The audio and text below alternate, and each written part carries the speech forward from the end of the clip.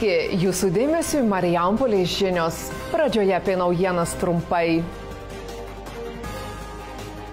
Marijampolėje keliaujantis klimato muziejus. Nuo šiol tapti vaikų globėjais bus lengviau. 30-metį mininčių Marijampolės galiūnų turnyrų istoriją fotografijų parodoje Spindulio kino teatre.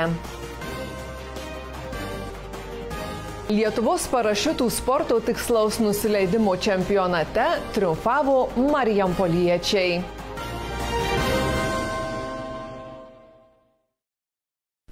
Po Lietuvą keliaujantis mobilus klimato muziejus šiandien įsikūrė Marijampolėje.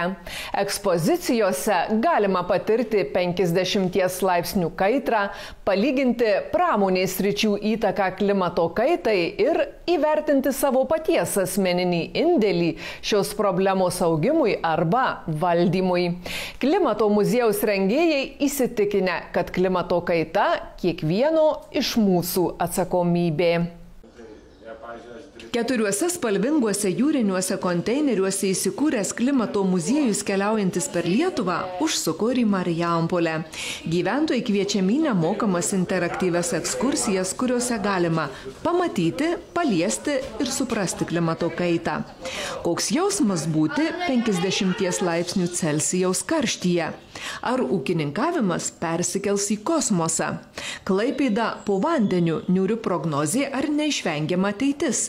Į šiuos ir panašius klausimus atsakys vienintelis Baltijos šalyse mobilus klimato muziejus.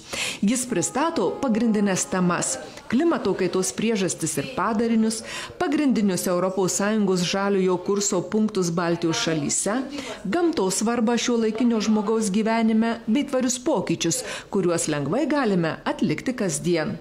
O bet kokie pokyčiai pirmiausia turi prasidėti namų ūkyje. Jeigu aš einu praustis, tai jūs atėję į šitą mūsų klimato muziejų galite aiškiai pamatyti, kiek energijos e, sunaudojat e, atsikėlęs ryte, nuėjęs po dušu.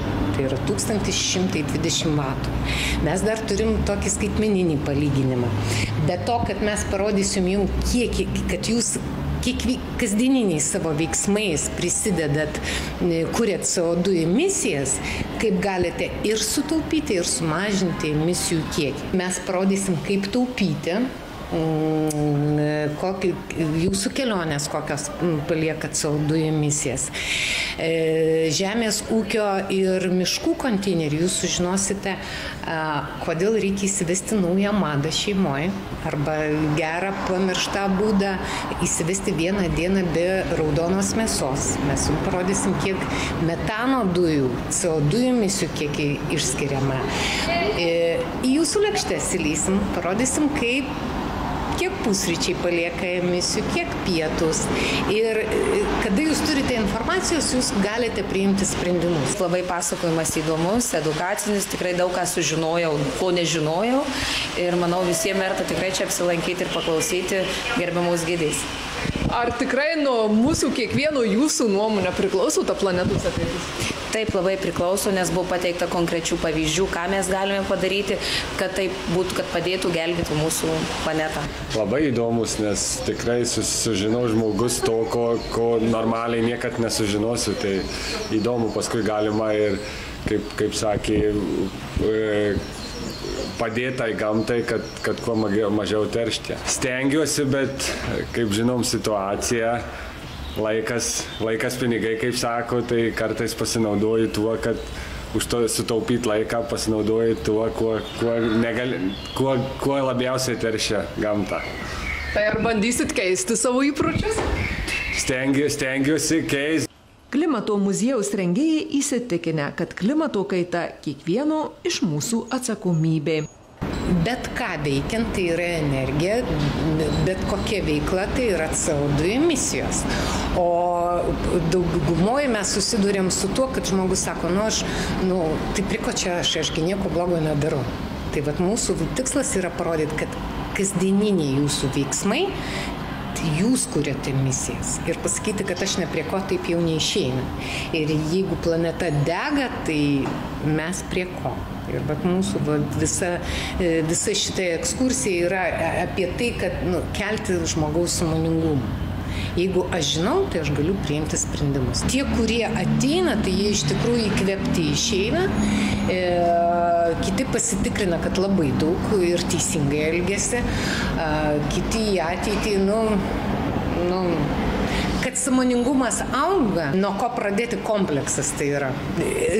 Tiksliau, galbūt pasakysim taip, saiko. Viskame tame saiko.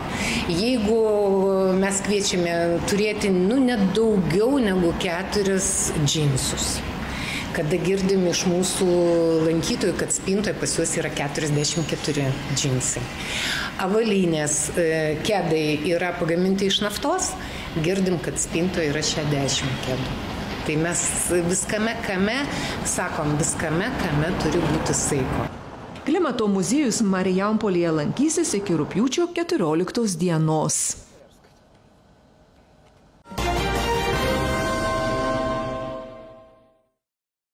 Šiandien apie 12 val. 20 minučių gautas pranešimas, kad kelio Marijampoliai prienai sankirtoje su Liepų gatve vedančia į Gliaukos kaimą įvyko avarija.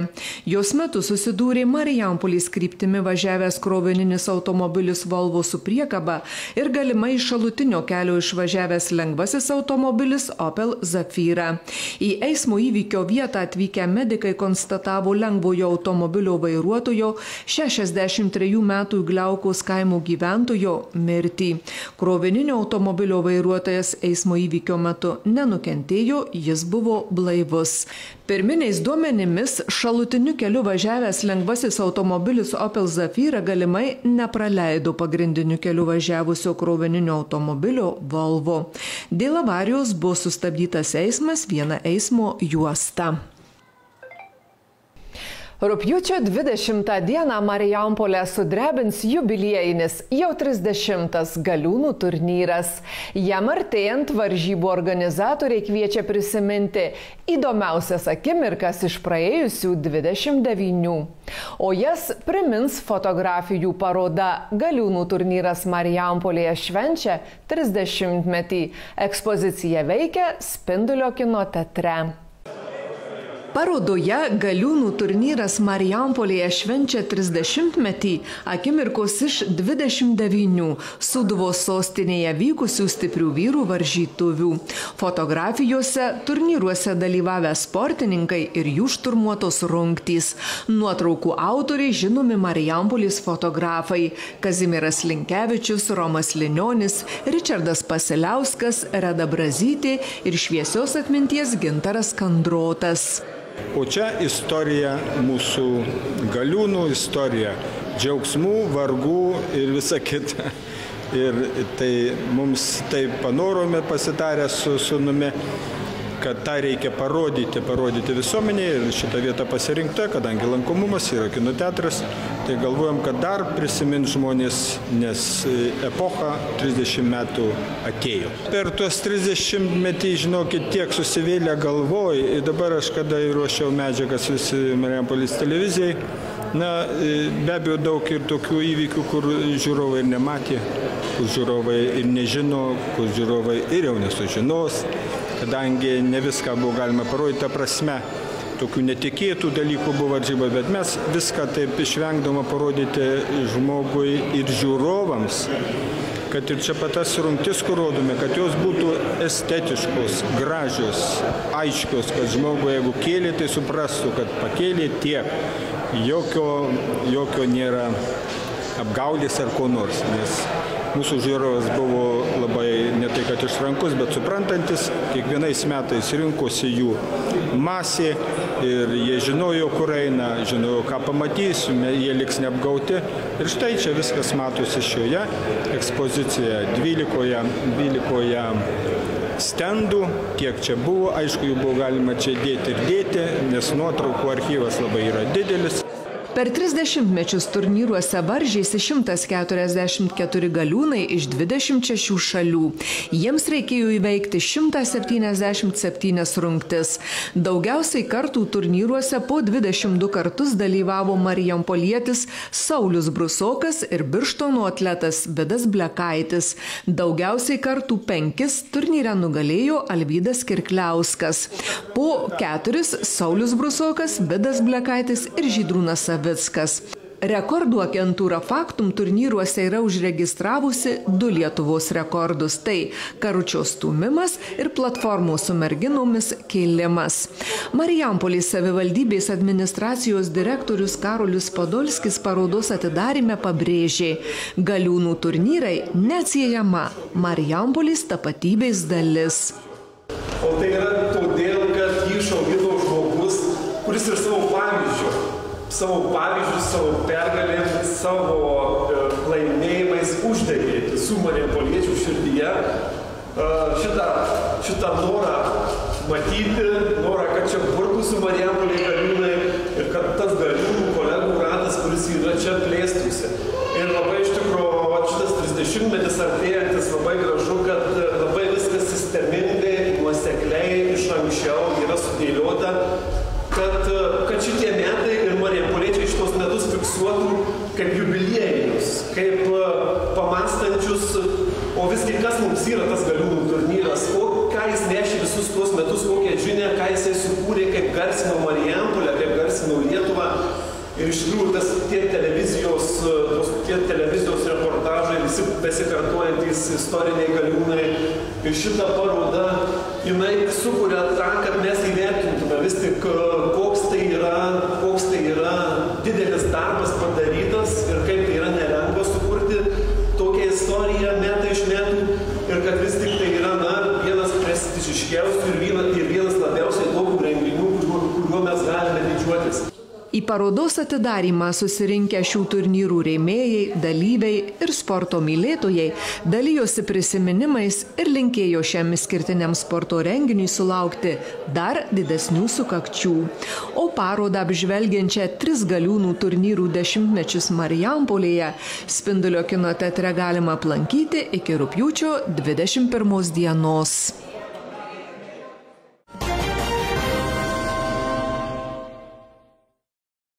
Marijampolės savivaldybės meras Povilas Sisoda praneša, kad šiandien įvyko Marijampolės vaikų lopšelio darželio vaivorykštė direktoriaus konkursas. Jį laimėjo Birutė Dičiūnienė, kuri šiuo metu dirba lopšelėje darželėje Rasa. Dičiūnienė yra įgyjusi edukologijos magistro laipsnį. Ji turi daugiau nei 20 metų pedagoginio darbo stažų, yra Marijampolės savivaldybės pradinių klasių mokinių anglų kalbos konkurso skirto Europos dienai paminėti sumanytoje ir organizatoriai. Direktoriai pareigas pradės eiti, kai bus gauta STT pažyma.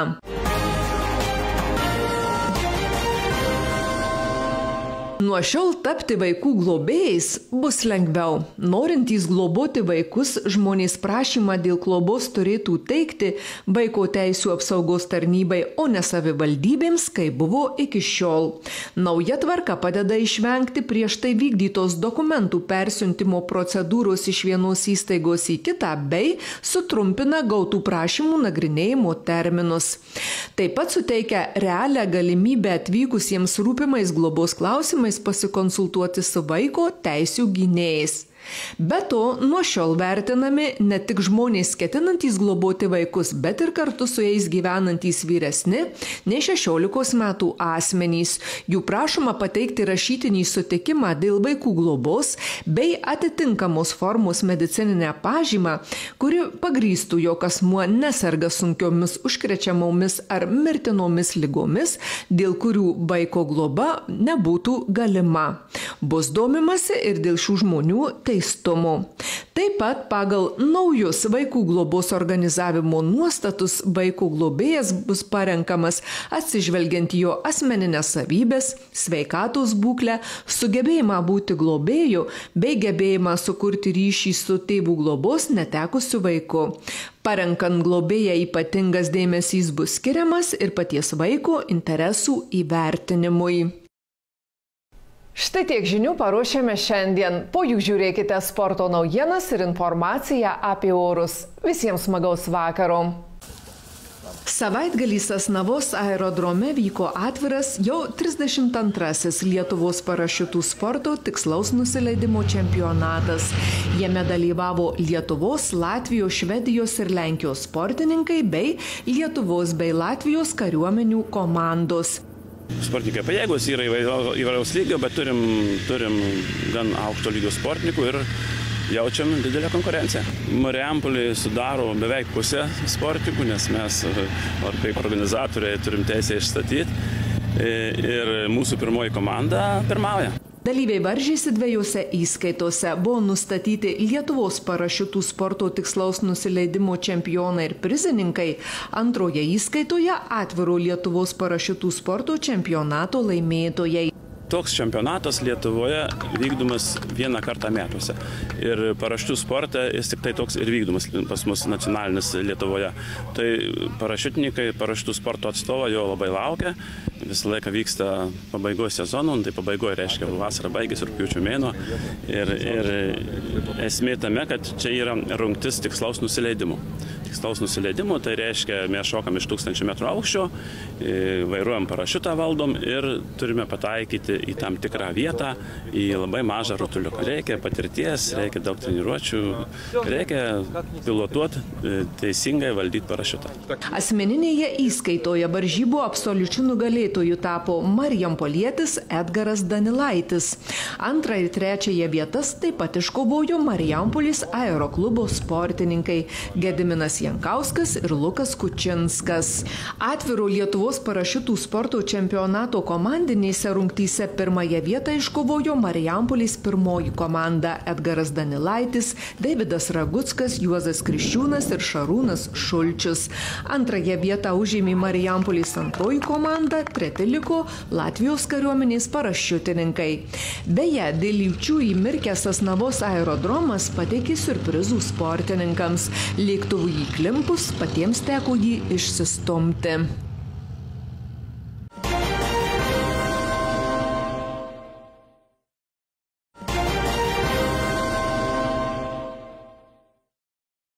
Rūpiučio 5 dieną Marijampolės baidarių ir kanojų irklavimo sporto bazėje vyko savivaldybės baidarių ir kanojų irklavimo atviras čempionatas. Varžybose dalyvavo 85 sportininkai iš Vilniaus, Kauno, Marijampolės, Plungės, Šilutės ir Zarasų. Tarp dalyvių sėkmingai startavo ir Ukrainos sportininkė Sofija Aleksejeva, šiuo metu besitreniruojanti Marijampolėje. Prizininkais ir nugalėtojais tapo vienvietis Kanojos 500 metrų distancijoje Sofija Aleksejeva, vienvietis baidarys 500 metrų distancijoje Viktorija Mičiulytė, Dominikas Žaliauskas, Endris Varanka, Saulė Mičiulytė ir Urtė Čebatoriūtė. Jaunių grupėje Skaiba Gudelevičiūtė, Tita Žilinskas ir Domantas Katilius. Dvivietės baidarys 500 metrų distancijoje laimėtojais ir prizininkais tapo Dominika Žaliauskas ir Endris Baranka, Milė Jankauskaitė ir Urtė Čebatoriūtė, Kornelija ir Saulė Mičiulytės. Jaunių grupėje Emilija Anužytė ir Skaiba Gudelevičiūtė, Kernius Akelis ir Gustas Gorskis, Oskaras Ulozas ir Adomas Miglinas. Sportininkus treniruoja Benius Jankevičius.